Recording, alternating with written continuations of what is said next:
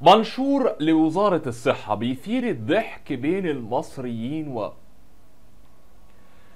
تماشيا مع نصائح وزارة الصحة السابقة بأكل رجول الفراخ بعد ارتفاع أسعار الفراخ.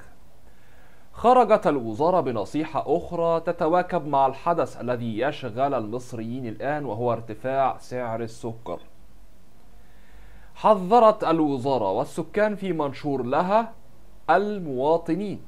من الإفراط في تناول السكر ونصحتهم بتقليل استهلاك السكر ولاقى هذا المنشور سخرية كبيرة من رواد السوشيال ميديا حيث ربط المتابعون بين نصيحة الوزارة بشأن التقليل من استهلاك السكر وارتفاع سعره ومنشور توعوي نشرته على صفحتها على وسائل السوشيال ميديا. منشور وزارة الصحة حمل في ظاهره النصيحة والإرشادات الطبية إلا أن باطنه حمل الأزمة التي يعيشها المصريون بشأن ارتفاع سعر السكر. لاقى المنشور سخرية كبيرة من المتابعين على مواقع السوشيال ميديا خاصة وأنه جاء بالتزامن مع ما تشهده السوق المصرية حاليا من أزمة شح السكر.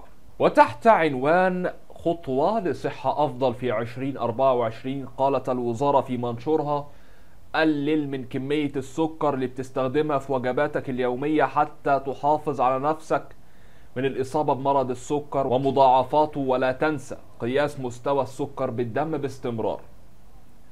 وارتفع سعر السكر خلال الأسابيع الماضية إلى ما يزيد على 50 جنيه للكيلو جرام مما دعا الحكومة للتدخل وطرح كميات كبيرة في المجمعات الاستهلاكية ومنافذ جمعيتي وبدالي التموين. في وقت سابق قررت وزارة التموين والتجارة الداخلية تحديد كمية بيع السكر للمواطنين عبر منافذ السلع الغذائية والتي تضمنت صرف 2 كيلو جرام سكر حر للبطاقة التموينية المقيد عليها أربع أفراد فأكثر.